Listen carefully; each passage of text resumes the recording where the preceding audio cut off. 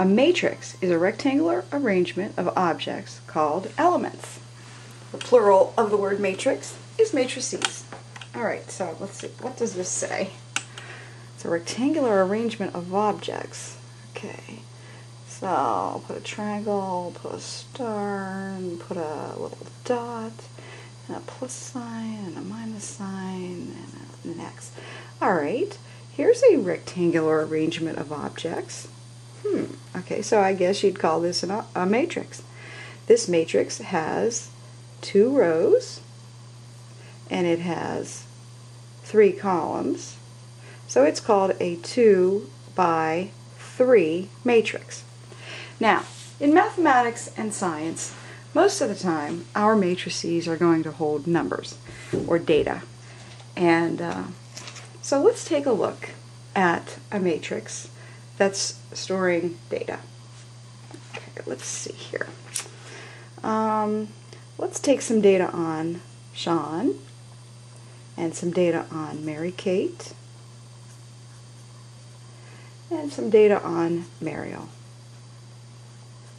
We want to put it in a nice organized form so that, you know, we can access it very, very quickly and efficiently. That we've gathered. Sean is seven years old. He's in first grade. He's 50 inches tall, now and he weighs. Kate is 18. She's in 12th grade. She's 72 inches. She's six feet tall, and she weighs 130 pounds. Now let's think about this. She is a very, very, very tall, very, very, very skinny young lady.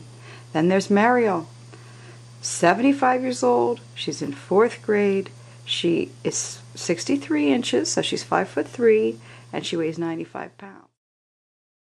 This is, you know, this is a visual as well. It's amazing how, if you just know what the headings are, you can read across a row of data and actually get a visual now, picture. It's possible to take this same data and rearrange it into a matrix um, in a slightly different way.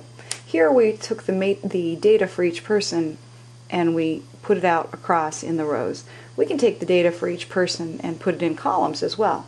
Sean's age was 7, his grade was first grade, his height was 50, and his weight was 100. Right. So it's a different rectangle. This rectangle is a 4 by 3. 4 by 3, whereas this one was a 3 by 4. 3 by 4. Now notice, we're looking at the exact same data, but it's presented in two different matrices. These matrices, even though they hold the same data, are not equal. Two matrices are equal if and only if their dimensions are the same and their corresponding elements are equal. Two matrices are what we call equal matrices if and only if their dimensions are the same and their corresponding elements are equal.